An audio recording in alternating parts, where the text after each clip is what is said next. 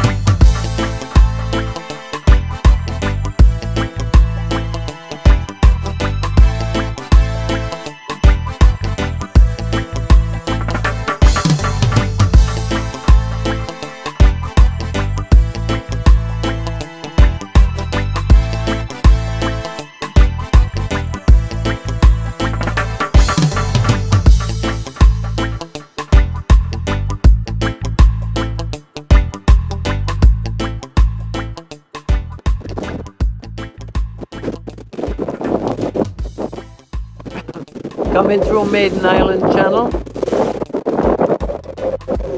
Couple hundred more yards and we're home safe. It looks like she hasn't listed anymore and hasn't gone further down into the, water. Lucky trip, lucky trip.